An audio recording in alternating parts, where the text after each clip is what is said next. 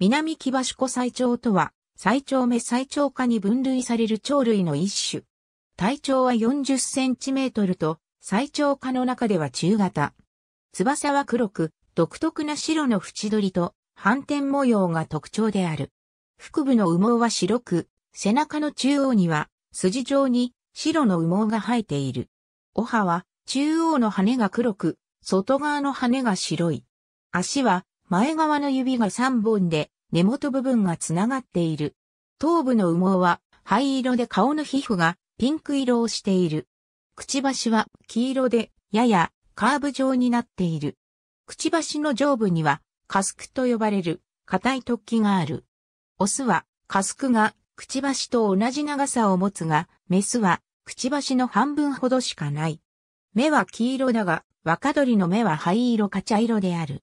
餌は体に似合わずに、アリを主食に雲やサソリなどの小型の動物を食べる。種子を食べることもある。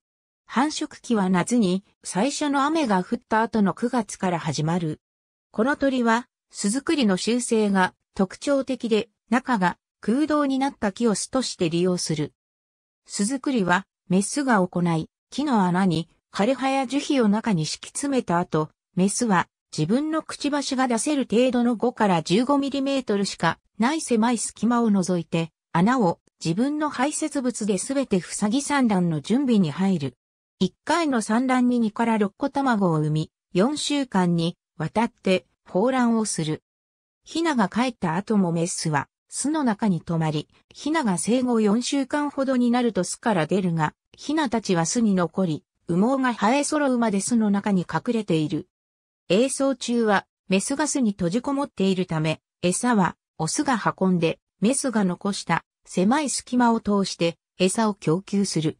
また、メスは数ヶ月の間全く羽を使わないため、巣に閉じこもっている間に風切り葉が抜け落ちる場合がある。アンゴラ南部とモザンビーク西側から南アフリカ北部までのサバンナと半砂漠に見られる。サザンイエロー、